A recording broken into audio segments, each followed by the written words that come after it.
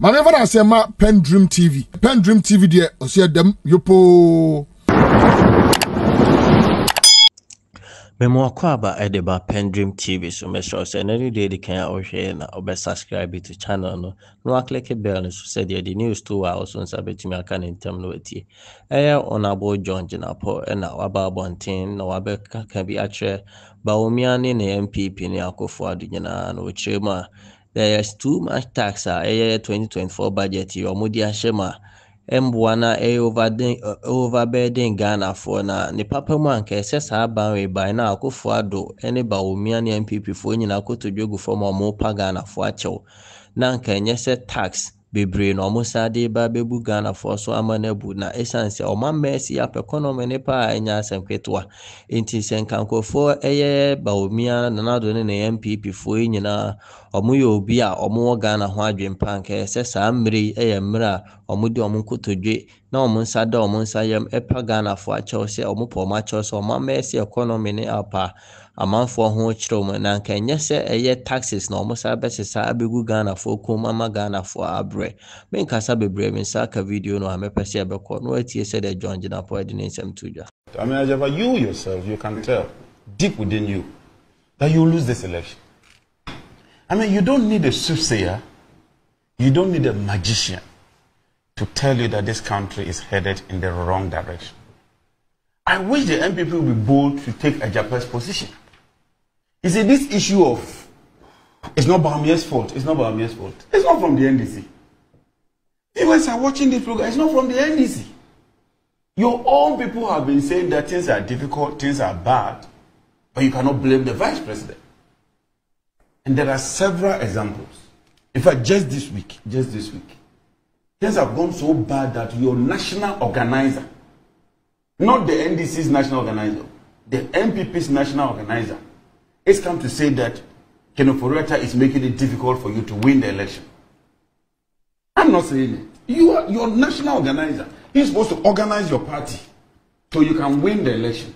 He says that this government is making it difficult for them to even campaign and that they should withdraw the emissions levy and the tax on electricity consumption immediately. This is the NPP's national organizer. So I will be very happy. Look, Ghanaians, in short, if you summarize all what Honorable Ajapa has said, is that Bawumia and the NPP and Akufo, they've done so well to give Bawumia an extension. That's simply what he's saying. That look, given the circumstance, their performance has been excellent. So give them another opportunity to continue in the state that you find yourself. And he said, Honorable Jabba, you cannot, you cannot force us to accept the reality that we are in this mess not because of COVID. We are not in, COVID cannot be blamed for this mess. So how come all the other countries, come all of them, they never experienced the kind of condition we experience? Mention one country where people are paying COVID levy. Just one. You mention one. Tell me which country. They, they all went through COVID, so they don't want to recover. Is Cote d'Ivoire paying COVID levy? Is Nigeria paying COVID levy? You tell me just one country where they have imposed a levy called COVID recovery levy. Have messed this economy.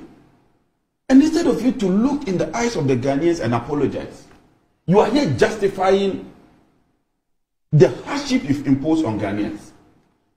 And he says that, oh, you passed the budget, but you're not implementing the revenue measures. Daniel, have you not been told that the revenue measure in respect of electricity consumption will no longer be implemented? Mm-hmm. Are we not being told that? Mm-hmm. Luxury, vehicle luxury or whatever tax, was it implemented? Was it not withdrawn? So where, where from this issue that you passed the budget, but you don't support the revenue measures? So you want to blame the NDC? You have passed your budget, the current budget. You want to tax electricity consumption. You found it wise to review it. So what is wrong with the opposition saying that there's so much taxation? In any case, are we not overtaxing the people of Ghana? Your own organizer is saying that you're overtaxing the people of Ghana. A lot of your leading members have told you that the taxes are just too many, Randy. I mean, why? This country, this country, we are paying energy sector recovery levy. It never existed under President Mahama. We are paying pollution levy. It never existed under President Mahama. We are paying financial sector recovery levy. It never existed under President Mahama. We are paying COVID levy. It never existed under President Mahama. We are paying e-levy. It never existed under President Mahama. We are paying taxation now on non-life insurance. It never existed under President Mahama. We are paying emissions levy. It never existed under President Mahama. Abba. And when we tell you that you have failed, having promised us that you move this economy from taxation to production, you say, oh, we shouldn't say. That is the reality. And please, fellow Ghanaians, look at your living condition and make a bold decision. This election is about your living condition. The job of the vice president is cut out. He is the head of the economic management team. He is the head. He is responsible for all these taxes. His main duty is to manage the economy. Look, I just read the latest Bank of Ghana report. And it made very interesting revelation. Dr. Addison emphasized that Bank of Ghana had to withdraw nearly 44 billion in excess liquidity from the banking system through open market operations, what we call OMO. Randy, 44 billion excess liquidity in the market. Why wouldn't inflation hit 52%? Why wouldn't inflation? The central bank itself is admitted that there was so much money to the tune of 44 billion in the economy. And when we tell you the head of the management team has failed, you say no, he hasn't failed. Then what is his duty? 44 billion, the size of Ghana's economy, excess liquidity. When we talk of excess liquidity, it means that you don't need that money. It's paper money that this government has printed and pumped into the system. So you are taking people's money by pumping excess liquidity into the economy. And when we complain, you say, oh, don't complain. It is normal. Look, prior to COVID in 2019, the currency depreciated by 13%. Check it, almost 13%, 12.9. That was the sign that told you that this economy was in distress. The only thing COVID did was to nail it. You run a deficit of 17%. No country, no country in Sub-Saharan Africa ran that deficit in 2020. The COVID year. Only Ghana, you ran a deficit of 17%. In any case, did you suffer a haircut under President Mahama? Did Ghanaians suffer a haircut under President Mahama? Look, Mahama's administration is 10 times better than this administration. And the facts are there. Look, the facts are there. Highest inflation, highest debt to GDP ratio, excess taxation, high cost of living. I mean, every sector you take. And he says the lights were on. The fact is that when we're handing over to you, the lights were on. That's a fact. Let's settle this matter here. Am I living witness even the vice president himself? So when you have a vice president who in 2016 can boldly look in the eyes of Ghanaians and say, look, yes, dumsor is over, but Mama cannot take credit. And then two years after, he comes back to say that no, there was dumsor. That vice president is dishonest. And that's a fact. So when we talk about dishonesty, it's not even the policy issues. It's about the inconsistency. You say this today, and tomorrow the same situation, you are changing it and telling us something different. I mean, you don't need any soothsayer to tell you that, look, this economy is in the wrong direction. Your own people, your own people, Kwame Pianim and Co. have told you that, look, this economy is in Anyway, your, your team is doing so well, Randy, why would 88 MPs ask for the dismissal of the finance minister? You believe that you haven't failed. You believe that you've done so well. And that Ghanaians ought to credit you for doing so well. The same party, 88 MP says that look, the economy is in the wrong direction. And so the finance minister should be asked. that the finance minister should be booted out, not NDC MPs, who, MPP MPs. And yet you have the courage to come and tell us. Anyway, tomorrow, I hope that Dr. Bawumia will listen to Honorable Japa and tell Ghanaians that look, as for me, I'm inextricable from Akufo-Addo. We've done very, very well. As head of the economic management team, we've performed better. So vote for me, so I'll continue. Let him be bold. Let him look in the eyes of Ghanaians. All this attempt to extricate him is because of the failure. There's a deliberate attempt. There's a post I'm looking for. Um, there have been a lot of posts by Kofi Bentil in the Yes. last few days, but there's a, one, a particular one where he speaks about um, the vice president not shouldn't appoint anybody. He should only work with uh, persons like Kwabena Japon. Um, there's, there's that particular one. Randy, way back, and I've been checking Kofi Bentil's Bawumia best successor to Akufo-Addo. This one year into the administration. One year. Look, Kofi is not independent. No, but he's always said that. Yes, not he's hidden always- it. yes. No, So he's not hidden issue- it. So I don't want people to create the impression as if he's hiding the fact that he's a Bawumia supporter. That is it. He wants to see, but he has never hidden it. Yeah. So, so uh, uh, let's not create the impression that um, he's um, he's hiding it and he's being exposed. He's made it clear from day one. From day one. That, that- but the point I'm making is that responses like this from Dr. Mani Buama has to do with his posturing as far as when I say his, I mean Kofi Bentil, as far as um, Dr. Bawumia's bid is concerned, and the fact that he seeks to distance him from government. He seeks to make the point that a vice president is virtually, he didn't say useless, but a vice president really um, doesn't do anything, he doesn't wield any power, he doesn't have any influence, he doesn't know anything.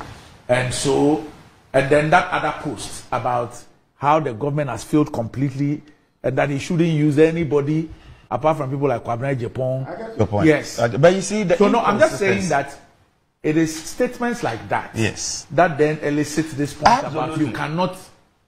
And even beyond that, this is the same Kofi Bentil who was praising the vice president for initiating policies and programs.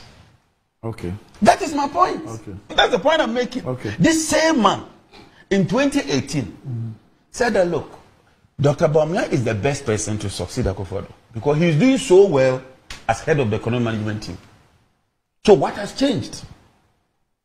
It's the consistency. That's fact, where for, for a person who doesn't have any influence at all, cannot influence anything, is not in charge of anything, is not responsible for anything, how is the person adjudged the best vice president ever? that is the point. Ma- And maybe for being silent. I'm saying that in 2018, Kofi Bentil's position was that the man has excelled because he's implemented so many policies, that he has developed so many policies as head of the economic management team, and that the economy was doing better because of this same man. Today, the economy is doing worse, and he says no. To the extent that he says that when he advised Ken, he doesn't take it.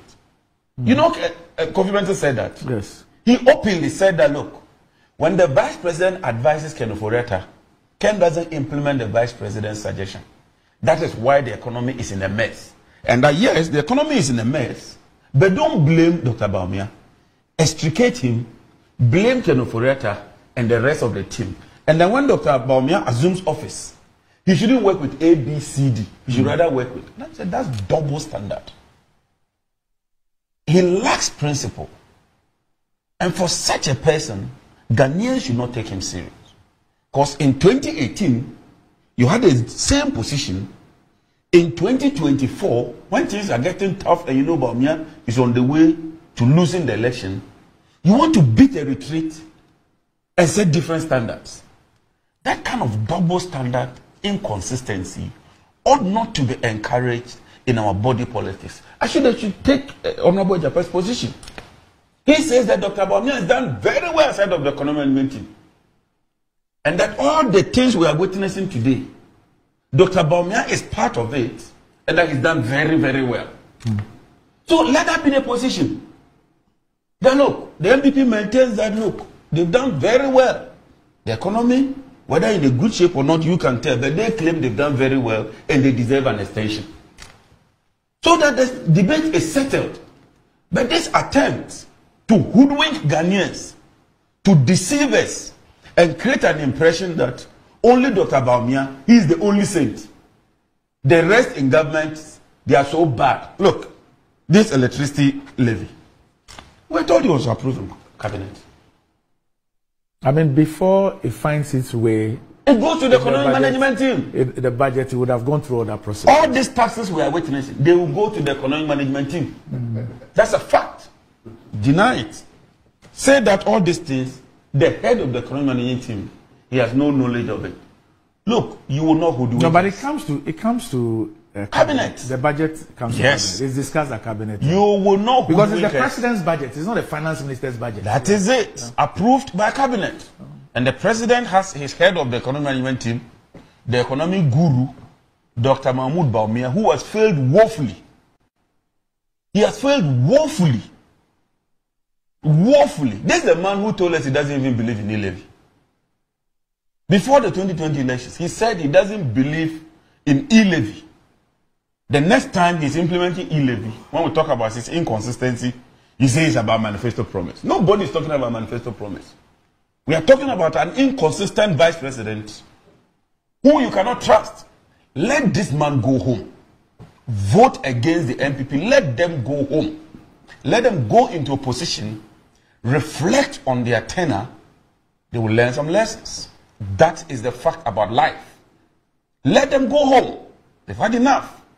Eight years of mismanagement, eight years of incompetence, eight years of blame game, eight years of shifting the post, not addressing the issues, not tackling the issues, always trying to parry it, and all of a sudden, you think that you can whitewash Dr. Bawumia and present him to us. You can even put a cassock on him. Who vote against him?